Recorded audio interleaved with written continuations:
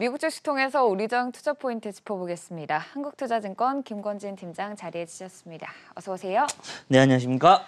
네, 시장은 계속 지지부진한 흐름 보였습니다. 오늘도 전반적으로 시장 크게 움직임 없이 좀 보합선에서 마무리 짓는 모습 보였는데요. 자세한 시장 상황 첫 번째 이슈부터 얘기 나눠보도록 하겠습니다. 눈에 띄는 상승세를 보인 종목이죠. 엔비디아 오늘 5% 넘게 올랐습니다.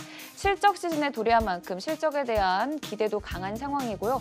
새로운 CPU를 공개하면서 오히려 인텔이나 AMD는 크게 하방 압력을 받고 엔비디아는 뛰는 흐름을 보였습니다. 어떻게 바라보시나요? 아, 네, 그렇습니다. 실적에 대한 이런 흐름이 지금 현재 가장 중요한 시기다. 왜? 실적 발표 시즌이니까 네. 라는 얘기를 해드리겠습니다. 결국 시장에서 가장 중요시하는 이런 실적입니다. 막 풍문이나 막 이런 여러 가지 뭔가 있어, 있더라도 결국은 실적이 짜잔 발표가 나면 끝입니다. 모든 게 다. 아 실적이 이렇구나라고 이렇게 판단을 할 수 있을 것 같고요. 지금 현재 엔비디아 같은 경우는 앞으로의 흐름도 좋아질 거야라는 이런 분위기가 계속해서 관측이 되고 있는 것 같습니다.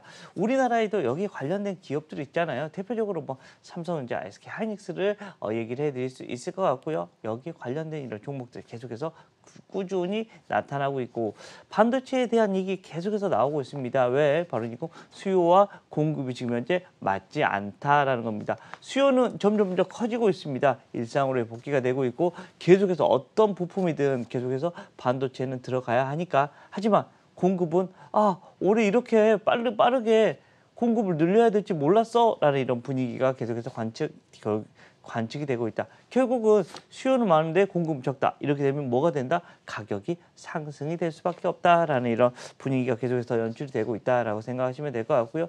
당분간은 계속해서 이러한 모습이 이어질 것이다.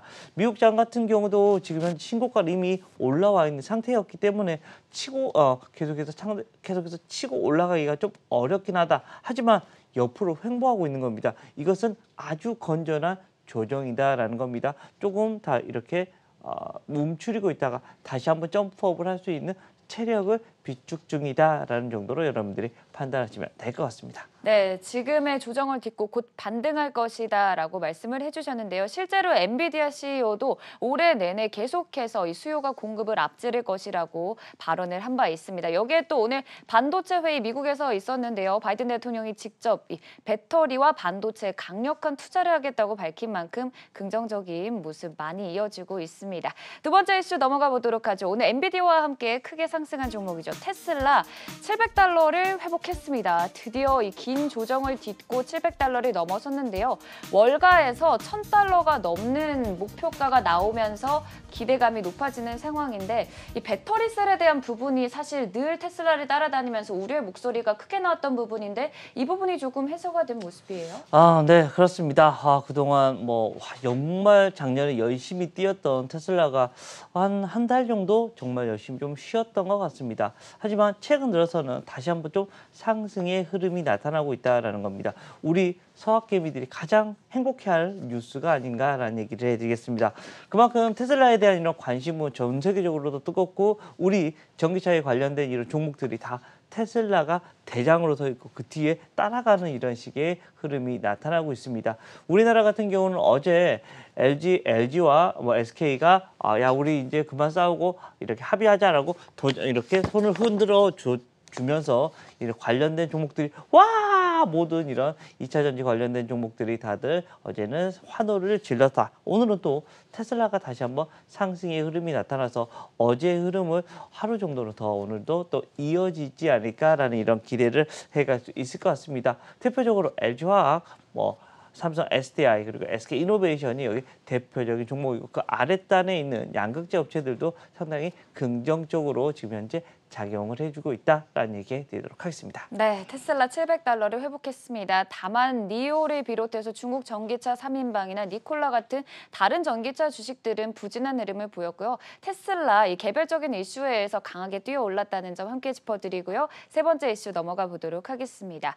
또 미국 시장 이제는 비트코인이 잠시 조정을 딛고 6만 달러 선을 회복하는 모습을 보였습니다. 어, 14일에 사상 최대의 거래 거래소죠. 코인베이스가 나스닥 상장을 앞두고 이 가상화폐 시장 전반적으로 기대감이 강해지는 모습이거든요. 네, 아, 그렇습니다. 우리나라 시장도 계속해서 빗썸에 대한 얘기가 정말 많이 나오고 있죠. 실제 여기도 이러한 모습이 나타나고 있습니다. 주변에 코인을 하시는 분들 좀 있으십니까? 음, 제 주변에도 보니까 어, 하고 있는 사람들이 많이 있더라고요. 음, 그런데 뭐 대부분 지금 현재 우상향 중이었으니까 대부분 아직까지는 박수를 많이 쳐주고 있는 모습이다라고 생각을 하셔야 될 것 같습니다. 근데 상당히 좀 상당폭 목에 좀 차고 있는 모습이 나타나고 있는 게 아니야라는 이런 분위기가 조금씩 조금씩 관측이 되고 있다라는 것 여러분들 꼭꼭 알아가셨으면 좋겠다. 그래서 거기에 관련된 종목들도 마찬가지일 것 같다라는 겁니다. 물론 위는 항상 갈 때까지는 아무도 모릅니다. 갈 때까지 가보자 하면서 계속 가보는 건데 내려올 때 워낙 빠르게 내려오니까 빠른 이런 어, 예, 수익 실현이 여러분들께 필요한 이런 구간이 아닌가라는 얘기를 해드리겠고요. 여기에 대표적인 주식 바로 이 비덴트나 우리기술 투자가 여기에 대표적인 관련된 주식이다라는 아. 얘기 드리겠습니다. 네, 팀장님은 사실 그동안 강세론자셨잖아요. 코인에 음, 대해서. 네네네. 지금은 조금 신중한 입장을 취할 필요가 있다고 바라보시는 건가요? 어 조금 많이 어 제가 생각했을 때는 많이 올라온 아, 것 네. 같다라는 겁니다. 아 과연 얼마까지 갈까라는 이런 생각은 하는데 열어는 놔야 됩니다. 위, 위 네. 단계는 항상 신고가가 나고 있는 종목들은 계속해서 어 계속 갈아보자라는 겁니다. 네. 하지만 우리가 항상 이 왼쪽 어깨 머리 어 이 오른쪽 어깨를 한다면 머리에서 팔기는 좀 어렵습니다. 음. 항상 내려올 때 여기 바로 이 오른쪽 어깨에서는 바로 수익 실현을 해 주셔야 된다라는 얘기 다시 한번 해드리겠습니다. 네, 신중한 입장을 가지고 투자 임해 보셨으면 좋겠습니다. 마지막으로 바로 이어서 오늘장 관심주 확인해 보도록 하겠습니다. 오늘장 관심주 매드팩도 들고 오셨어요. 사실 지난해 정말 크게 올라줬는데 사실 올해 들어서는 조금 부진한 흐름을 보였거든요. 음, 네, 조금 올해는 좀 부진하다 하지만 오늘은 좋을 것 같다라는 어, 네. 저의 생각입니다. 물론 아닐 수도 있습니다, 여러분들. 항상 네. 제가 얘기한 것은 어, 손절 라인을 꼭 생각하시면서 여러분들은 접근하시면 좋을 것 같다. 그냥 저의 관심주다라는 생각을 하시면 될 것 같고요. 매드팩토 하면 지금 현재 파이프라인이 정말 많이 다양화지고 있습니다. 어, 앞으로의 이런 성장성에 대한 얘기 우리가 그리고 어, 제약사는 뭐예요? 결국은 성장과 꿈, 꿈이구나, 아름답다. 앞으로도 많이 살아갈 수 있겠구나라는 것을 얘기해 주는 것처럼 실제 매드팩트가 여기에 대표적인 주식이 될 수 있지 않을까라는 얘기를 해드리고요. 임상 앞, 앞회 같은 경우에 이 매드팩트가 지금 현재 발표할 게 상당히 많이 지금 현재 대기하고 있는 것 같다라는 얘기를 해드리겠고요. 항암제에 대한 얘기 계속해서 흘러나오고 있습니다. 여기에 대한 이런 주가에도 오늘 좀 반응이 있지 않을까라는 얘기 드리도록 하겠습니다. 네, 다시금 반등의 기대감과 함께 매드팩토 얘기 나눠봤고요. 지금까지 한국 투자증권 김권진 팀장이었습니다. 고맙습니다. 네, 감사합니다.